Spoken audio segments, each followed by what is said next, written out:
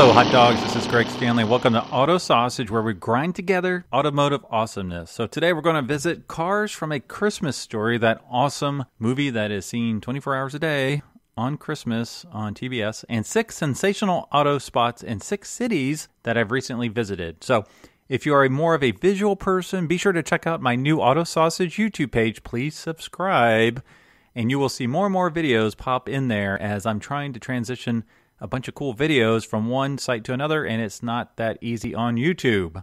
So, I will have a brief location for walkthroughs for a few of these spots today, not all of them. And my goal is to have a walkthrough, if it's only a minute, minute and a half, few minutes, uh, just a little overview of each of these cool places I visit while on my travels. And I promise I will get a gimbal so the vomit inducing shakiness will end soon. So I apologize for the quality but it still gives you a little bit of an overview of these cool places I'm visiting while selling candy for Bazooka. So if you're listening on this through the LFO Learn from Others podcast, future Auto Sausage episodes will be available only on the Auto Sausage channel on iTunes, Stitcher, Google Play, wherever podcasts are found. So be sure to subscribe there. Okay. Well, as a reminder, play the Auto Sausage auction game to win tickets to the Cincinnati Concours d'Elegance by guessing what five cool cars I picked will sell for at the Mecum Indianapolis auction coming up in a few weeks. So this is a way you can win cool prizes, and the prizes will continue to get better. I know one of the future auctions I have, I think it's for the Monterey Car Week. I have about $200 worth of autographed Star Wars trading cards. So be sure to listen up and sign up for that.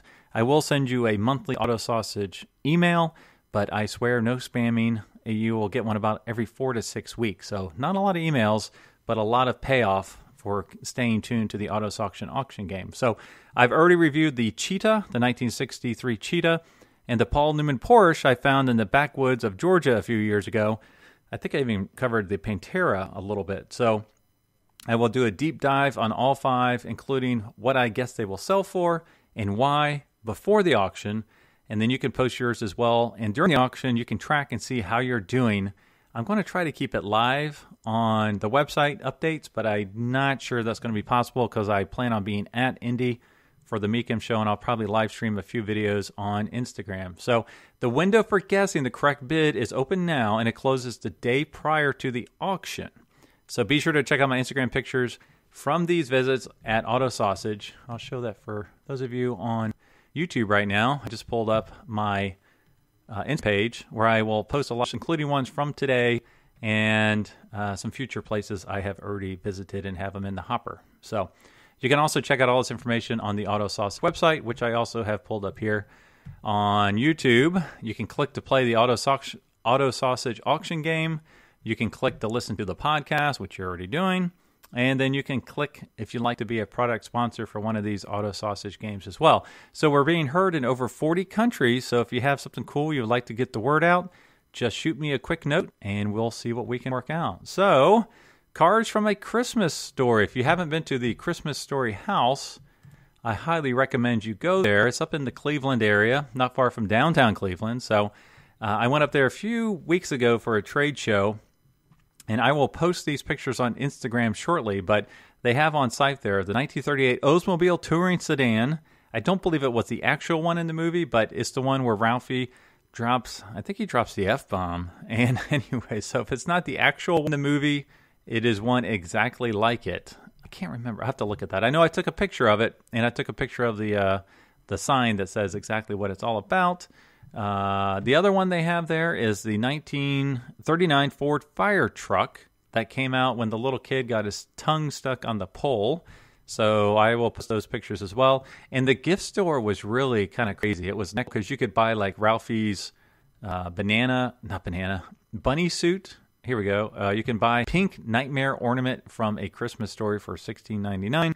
You can buy ties. You can buy the leg lamp all sorts of cool and interesting things. So I will post a few pictures of that as well. I did not take a video of this store, so unfortunately there is not one on YouTube, but there will be plenty of pictures on Instagram. So the next place I want to talk about is Prestige Motor Cars in Clifton Park, New York. Again, these pictures will be posted soon. This was a really cool place. The tour was provided by Tom Stark, really nice guy. The owner is Joe Ferrilio, I believe that's how you say Jim and they plan on changing the name to Verlio Motor Cars or something of that effect.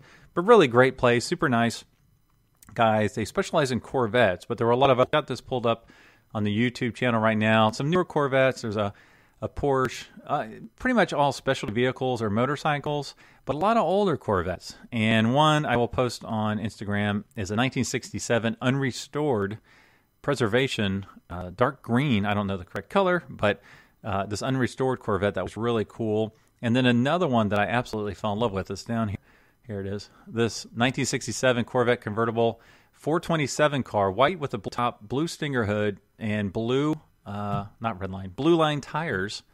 And they're asking, I think, $120,000 for that car. A little bit out of my price range, but it is an absolutely gorgeous, wonderful car. So I will be passing through there again in about four weeks or so, and they offered to take me on a private tour of a local collection. So if I am able to film that and share that, I will. Otherwise, I will keep it totally under wraps.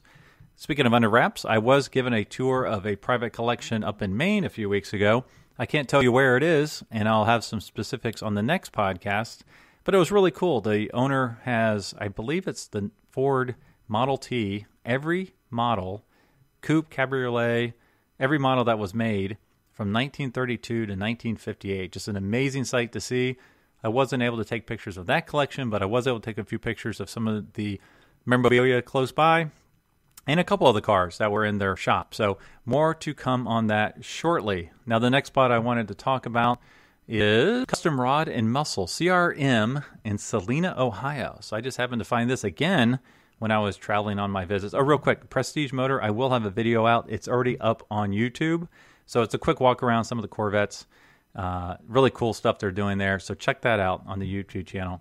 So CRM, no video, but they specialize in muscle cars, and they have the cool stuff. My favorite there was probably this 1958 Impala, like a exterior color. It's a turquoise, $99,000, beautiful convertible. I think this is a one year only Impala because I think it changed in 59 and it was a different car in 57.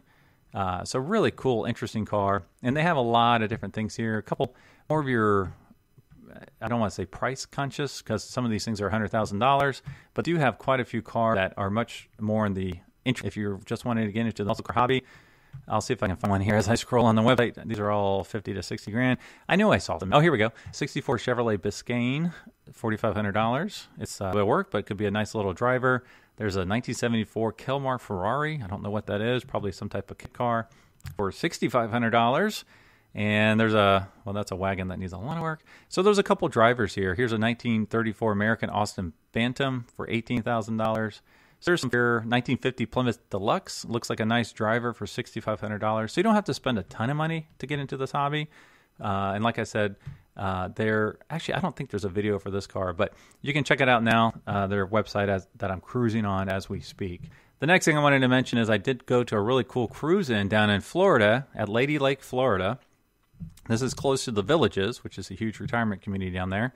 So I posted some pictures on Instagram, and I'll have to say, oh, I, and there is a video. There's a video of a parade of Ford Model Ts and Model A. So that was pretty cool. It's probably about 40 of these Model Ts taking off to go to the actual car show lot, which was really neat. The coolest car I saw there was a Nash Rambler, 1957 wagon.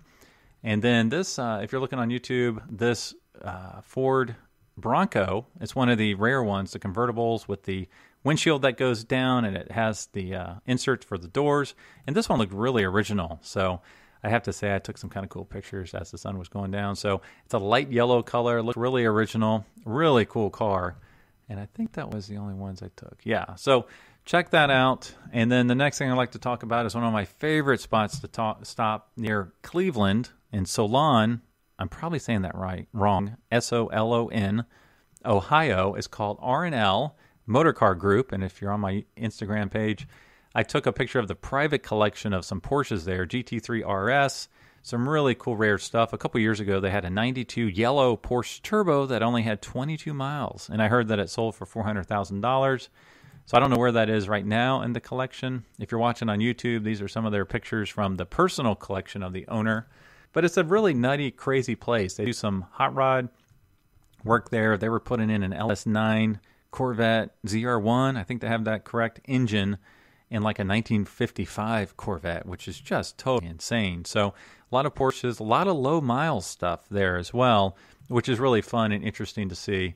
So if you're in the Cleveland area, be sure to check it out. And on their website, which I just pulled up, they also do some of the early 70s stuff. They have, or mid 70s, they have a 77 Cadillac Eldorado for like 16 grand. And if I remember correctly, it was really low miles, like 24,000 miles. That's where cars is coming out now as uh, the generation ages. They also have one of these Corvettes by CRC. I don't remember what that stands for, but it's basically an old looking Corvette, a 67 Corvette, but it's on a like 2006 Corvette chassis. So the interior, the running gear, the wheels, tires, the engine, the drivetrain, all of that is new, but it has the cool classic look. And usually they have a lot of really low mile cars, a few Ferraris in here as well. Uh, they have just some really rare, cool, interesting things. They're super nice. So if you get a chance, check them out for sure. And our next one, we only have two more to go here. So I know I'm covering a lot. Been a lot of traveling. I've been doing a lot of traveling lately, seeing a lot of cool stuff. So I need to get it out of my system. But the next one is GR Auto Gallery up in Grand Rapids. Fantastic place. It's a consignment shop, but they have great quality, great um, selection there on Instagram. I've already posted these. I might post a few of them again. Uh, one of the cars I fell in love with was this uh, 1984, 85, 86 Porsche 944 Turbo. What I liked about it is it was like a light silvery bluish gray with a brown interior. So it was a very interesting color combination. Those turbos are going up a lot. If you reference my discussion about uh, Jerry Seinfeld's cars from a few weeks ago, I talked about the 944s he bought. Be sure to check that out. And they also have some other cool stuff here.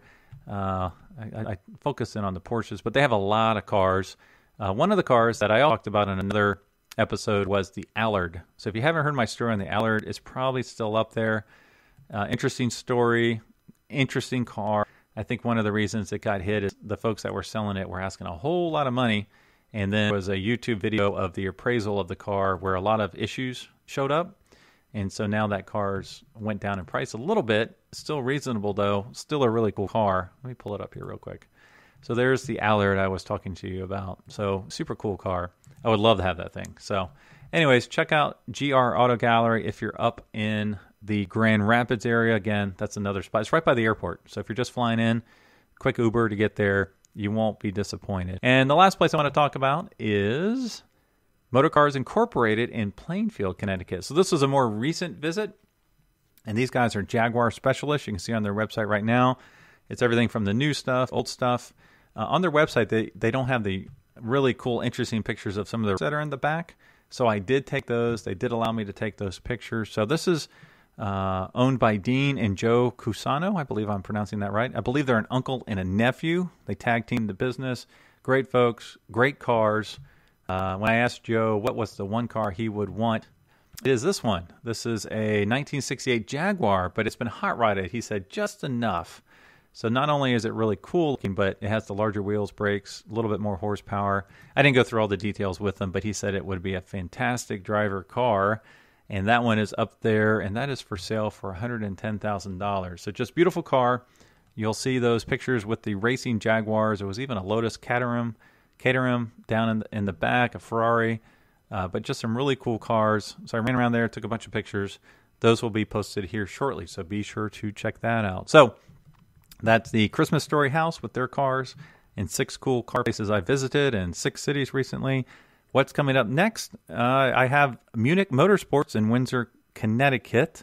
That secret place in Maine, I'll go into a little bit more detail. I came across a Porsche racing shop up in New England and then Iron Key outside of, well, actually the middle of nowhere, Wisconsin. And then I have a little local Corvette shop outside of Indianapolis.